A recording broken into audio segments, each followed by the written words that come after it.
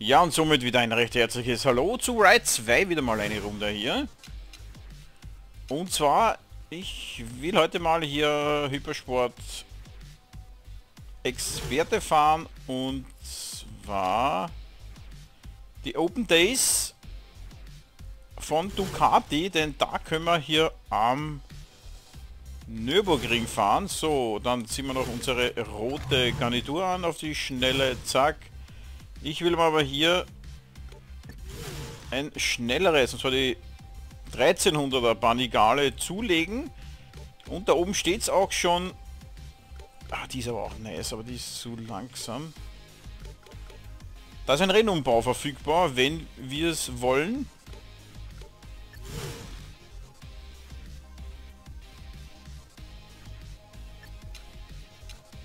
Für einen 30er ja, wir über 160.000. Ja, das werden wir uns hier genehmigen. So, die wird mächtig abgehen. Das werden wir heute jetzt machen. Jetzt werden wir es einmal tunen und herrichten und dann werden wir noch die Runde am Nürburgring, glaube ich, fahren und dann schauen wir mal, wie spät das ist. Ja, möchte ich jetzt. Dann wollen wir auch noch, weil wir können bis 984 LPs raufgehen und am Nürburgring ist mit 719 dann fast 300 LPs zu wenig, glaube ich. Das wird schwierig, vor allem auf den Geraden, glaube ich. Geschwindigkeit 8,4. Oh.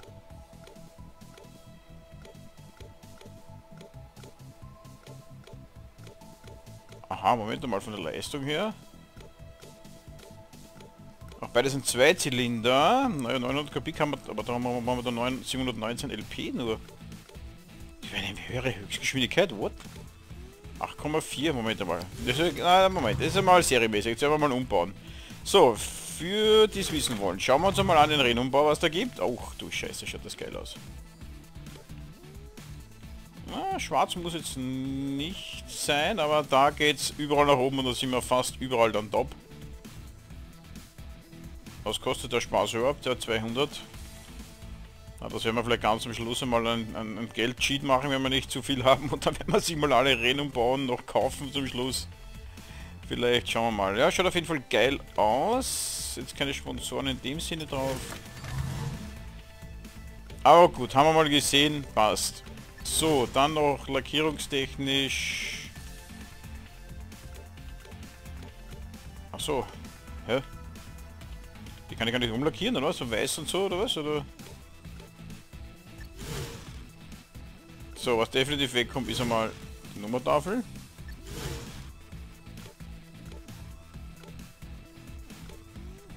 Und die Rückspiegel. Muss sein am Nürburgring. So, das andere lassen wir hier, das passt. So, Motortuning. 204, ja, da geht es gleich mal richtig zur Sache. Das kostet natürlich auch wieder Geld, aber gut, da können wir nichts machen. Hoppla.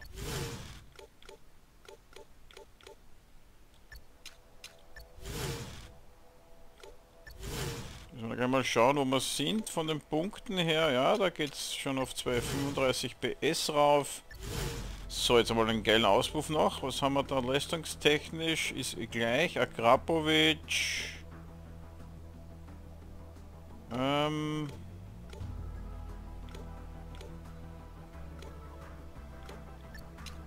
Nehmen wir Akrapovic. Ölwechsel brauchen wir mal keinen. So. Frischen Kettensatz drauf.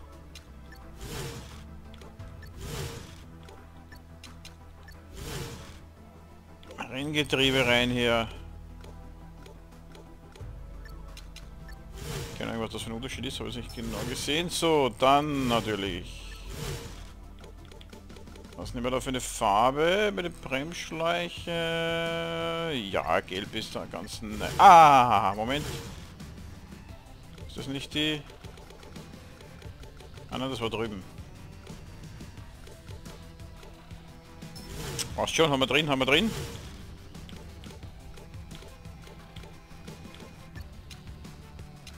So, da sind wir schon auf 900. Ja, die Bremse ist natürlich extrem. So, da weiter hinten auf 924, genau. Die Bremssättel. Machen wir das in... Hm, was machen wir das? Machen wir in...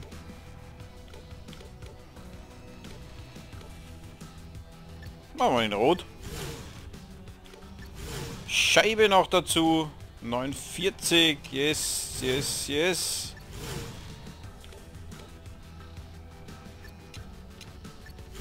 Fahrwerk rein. Ja, wie kommen die auf die auf die auf die anderen Leistungspunkte? Keine Ach so, haha, haben wir auch die Reifen, genau. So, das allerwichtigste ist einmal ein Slick.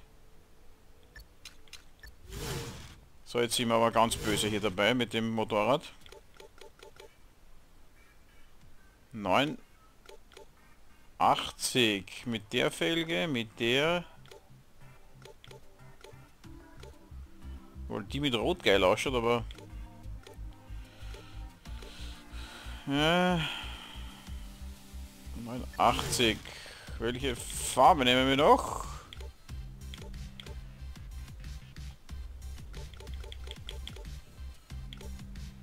Na, rot passt nicht wirklich. ja, auch nicht so geil. Moment.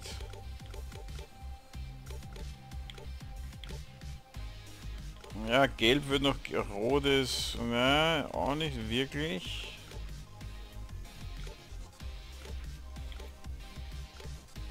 Dann eher noch weiß, oder? Ja. 89. Sehr schön. Jetzt haben wir alles. Jetzt kann es losgehen. Nach sieben Minuten starten wir endlich ins Rennen. Und wenn ich es richtig gelesen habe, die ganze Runde.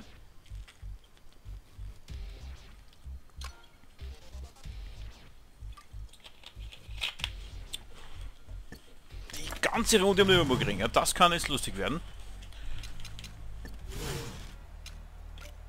Gehen mal auf leicht. Schauen uns mal die ersten paar Kurven an hier. Jetzt habe ich gar nicht geschaut, das, geschaut, das äh, Starterfeld. Ja, da springen wir gleich mal weg. So, was ist da los? So viel Kraft, dass da immer die Traktionskontrolle eingreift wahrscheinlich. So, mal hier ein bisschen einschießen drauf erst.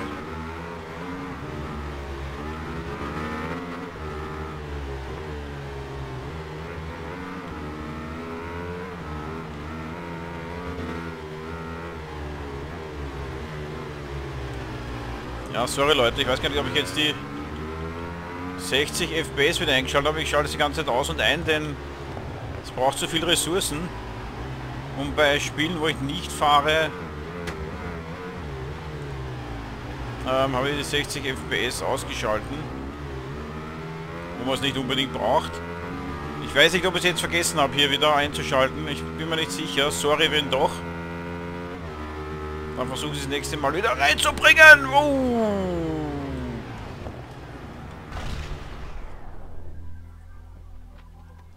Irgendwie ist er mit ein bisschen unruhig im... Überhaupt. Noch einmal.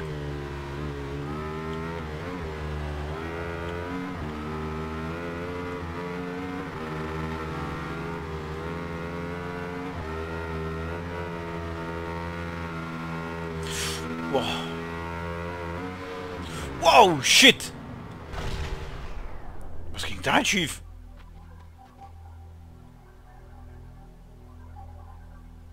Uh.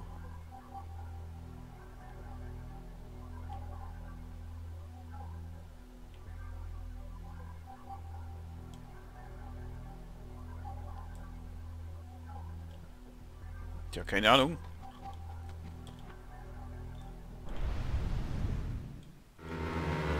Bisschen vom... Oh. Der muss man ja extrem vorsichtig fahren. Die ist ja extrem giftig.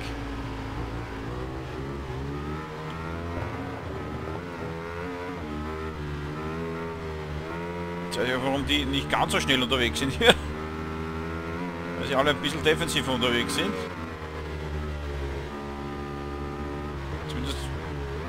Anbremsen ist und wenn so ein bisschen mit Hügeln und so ist. Aber noch einmal, was wir vorhin Stutz sagen wollten. Sorry, falls jetzt dieser Part nicht F äh, 60 FPS ist. Ich vergesse jedes Mal wieder zum Nachschauen vor der Aufnahme oder öfters.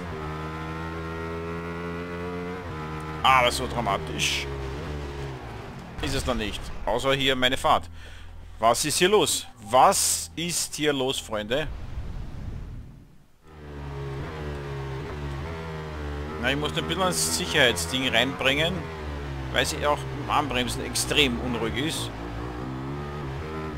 Wahrscheinlich wäre mit meiner langsameren oder mit der 700 LP die oh, wahrscheinlich sogar schneller.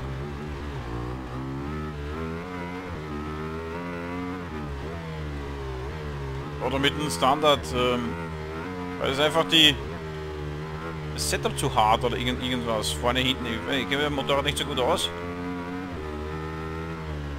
Irgendwas stimmt auf jeden Fall nicht.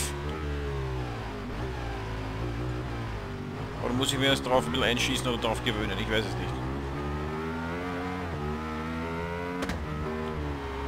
Versuchen wir mal hier onboard. Halbwegs zu fahren.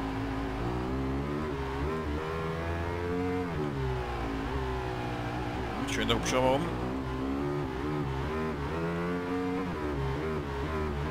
Ich glaube, wir bringen die Kraft gar nicht auf die, auf die Straße irgendwie auch. Das ist auch nochmal ein zusätzliches Problem. Das hatte ich bei, bei diesen Endurance-Maschinen eigentlich nicht. Also irgendwas haut hier nicht ganz hin bei der Maschine. Ich weiß nicht, ob es an mir liegt.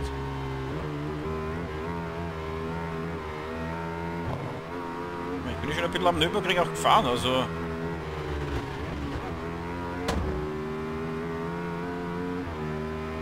Na, jetzt hier oben geht's wieder. Ich glaube, unten haben wir einfach zu viel Kraft und wir bringen es dann irgendwie nicht wirklich auf die Straße.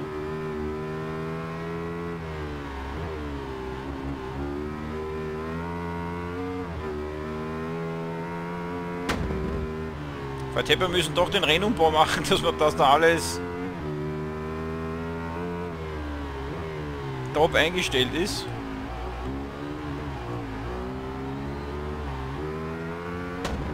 So, den Kollegen müssen wir auf jeden Fall überholen, denn Podiumsplatz ist wichtig. Beziehungsweise Medaille hast du hier.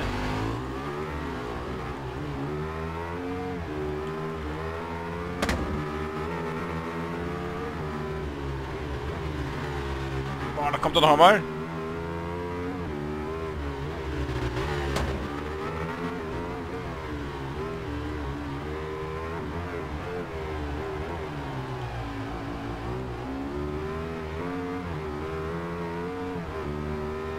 Irgendwie habe ich, hab ich mich jetzt auch ein bisschen dran gewöhnt und habe mich ein bisschen eingefahren. Sprache und lag auf der Nase, oder wahrscheinlich? Aber jetzt ein bisschen ruhiger unterwegs ist. Gut, der eine Hügel am Anfang, dann noch die andere Welle, ja.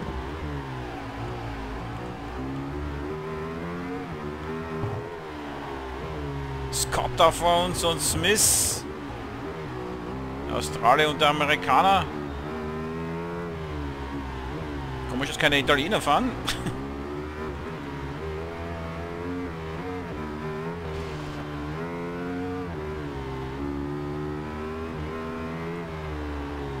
Aber wir kommen gerade von Onboard. Geht es auch ein bisschen besser wie von außen. Mit der Maschine.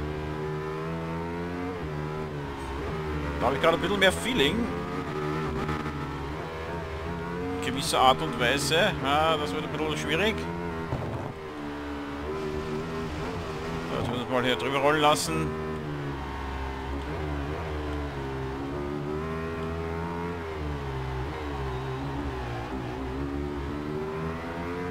Also besser haben wir Maximum.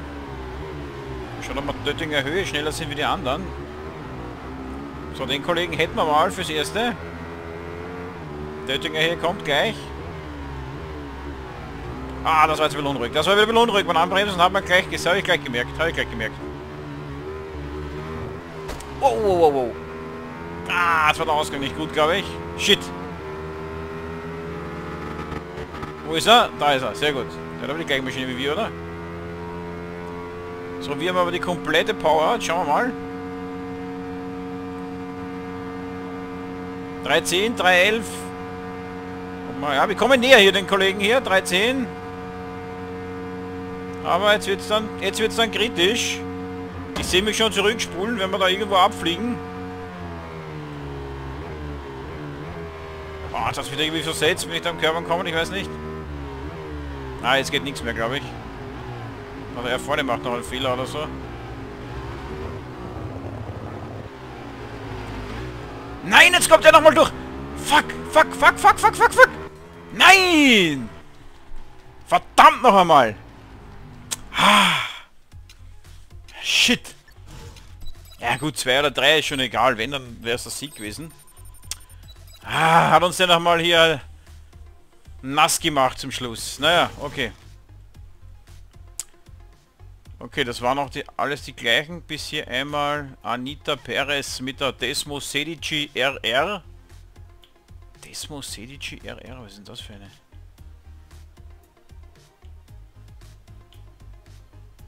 Normale. Ah, auch einer mit der mit der 899er Panigale, aber mit 11 Sekunden Rückstand, also aber möglich wäre es gewesen. Wäre durchaus interessant mit der mal eine Runde hier auch zu fahren. Muss ich dann direkt einmal testen, glaube ich noch. 16, ein bisschen Zeit haben wir noch. Vielleicht können wir noch etwas Schnelles fahren. So, hier vor Julian Gruber auf 135. Hm.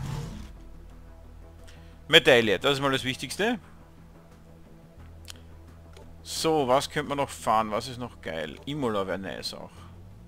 Sierra Nevada. Helenentürme, weiß nicht, da. Äh, Ding. Glaube ich, muss ich jetzt auch nicht. Oh, das wird auch lustig. Scheiß drauf. Fahren wir Sierra Nevada.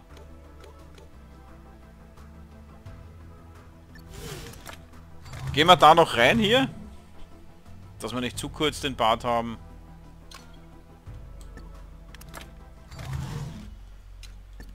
Bike-Einstellungen. Federung. Vielleicht kann ich da irgendwas... Äh, sehe alles im Prinzip auf Standard. Gehen wir mal überall zweimal ein bisschen weicher. Aber man soll meistens ja nicht zu viel tun. Einfach nur mal eins und dann mal schauen, was sich tut. Die Federhärte mal ein bisschen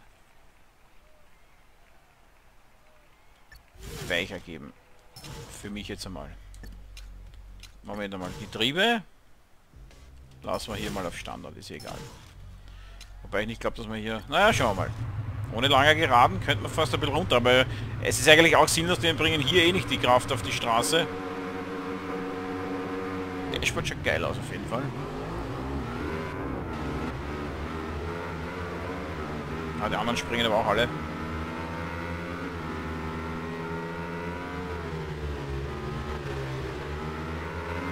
Ich glaube, hier tue ich mir wieder leichter, weil die Straße schöner ist und, und, und ebener. Am Nürburgring muss man generell ein bisschen weicher abstimmen, glaube ich auch, zusätzlich. Oh, fuck. Ja, hier wieder gar kein Problem, da hätte können auch die Dämpfer jetzt lassen wahrscheinlich. Oh, da hinten der Staudamm oder was? Und das schaut auch geil aus. Hier Serie Nevada, das geht noch gar nicht so wirklich. Haben wir schon einmal? Wen kann ich mich nicht mehr erinnern. Optisch schaut auf jeden Fall geil aus. Smith wieder hier am Start.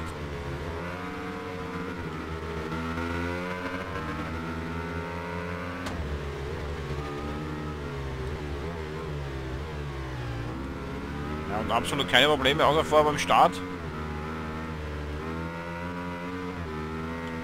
Boah, da war aber ziemlich knapp. Boah, da kann man schön durchziehen, aber hui, hui, hui. Gefährlich da zwischen den Schluchten durch zwischen den Felsen. Boah, die langgezogen ist auch nicht einfach. Ah, da ein bisschen Schwung mitnehmen.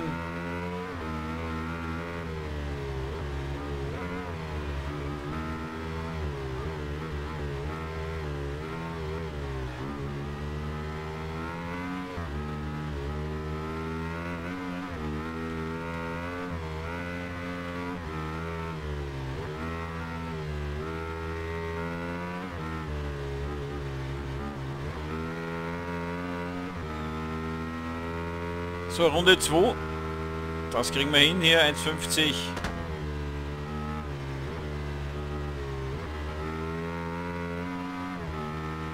Noch gute dreieinhalb Minuten ungefähr, oder? Wenn ich es nicht ganz verrechnet habe. Uiuiuiui. Ja, man sollte nicht so wieder auf die Uhr schauen.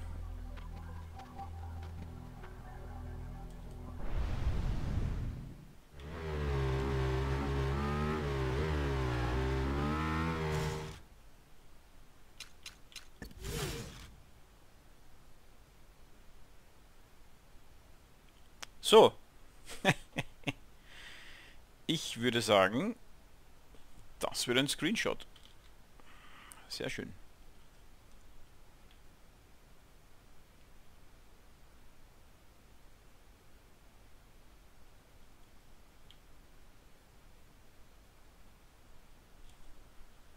Und noch einer. Ich wollte eigentlich die Onboard, genau. So, war der da hinten auf einmal so ein riesen Rückstand.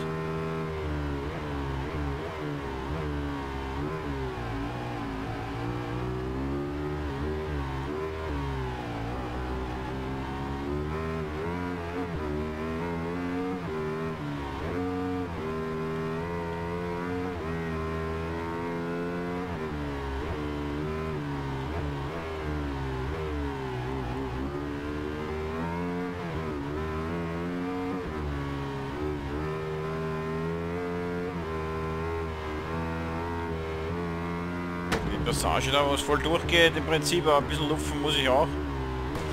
Wow, da ist rot noch die, die Linie und trotzdem zieht mich da nach innen. Hat echt hundertprozentig gestimmt.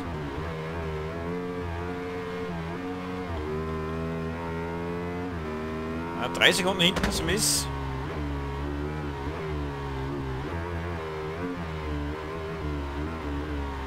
So, wir nähern uns der letzten Runde. Das sind schon die ersten Fahnen wieder rechts, jawohl.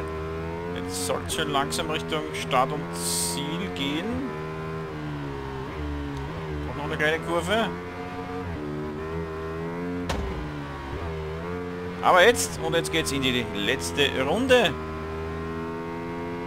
Unserer Ducati.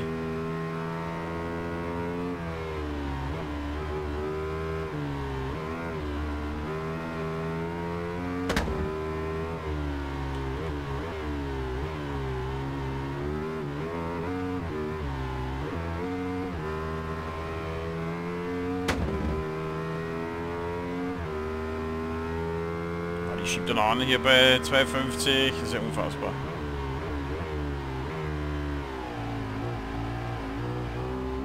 Boah, schon wieder. Innen ein bisschen gestriffen. So, jetzt kommt dann wieder die schnelle Passage.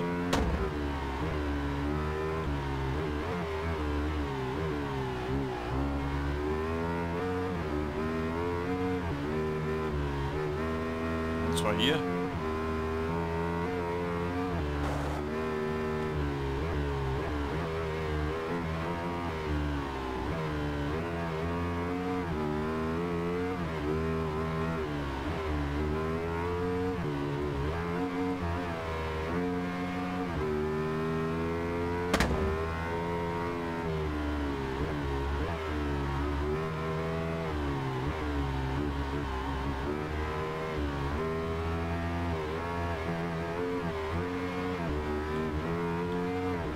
Ja, sorry nochmal zum Schluss, falls es kein 60 FPS ist. Wenn doch, dann passt eh alles, aber ich bin mir nicht sicher. Ich glaube, ich habe es vergessen. So, jetzt aber Start und Ziel. Das nächste Mal passt dann wieder. Sehr schön.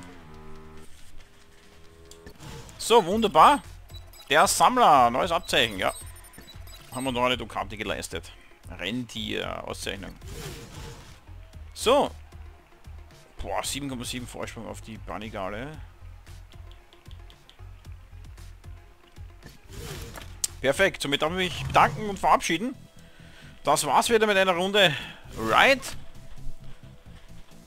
Und ja, wir sehen uns das nächste Mal. Vielleicht machen wir hier weiter, wenn nicht, lassen wir was anderes einfallen. Mal schauen. Gut.